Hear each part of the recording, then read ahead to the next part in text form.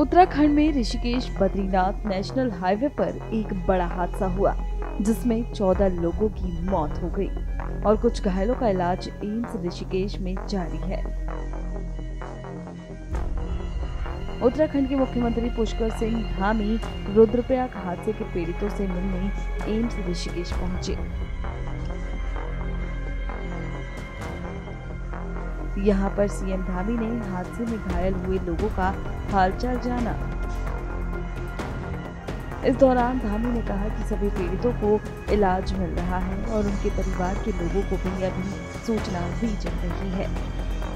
घायलों का इलाज यहाँ पर जो है, जो ज़रूरी है, सबको इलाज मिल रहा है और उनके परिवार के लोगों को भी जो है, अभी सूचना की जा रही है, उनकी जानकारी करके। और जैसे मिल जाएगा, आगे का इलाज उनका अच्छा हो।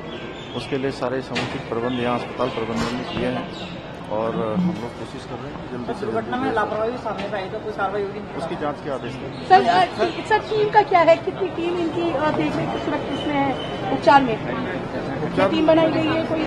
नहीं नहीं अच्छा उपचार यहाँ पर अभी जो भी उपचार के लिए ज़रूरी है यहाँ पर सभी डॉक्टरों की टीम और सब काम कर रही है। वहीं रुद्रप्रयाग दुर्घटना में जान गंवाने वाले लोगों के लिए प्रार्थना करते हुए पवित्र गंगा के तट पर परमार्थ निकेतन आश्रम में विशेष आरती भी की गई।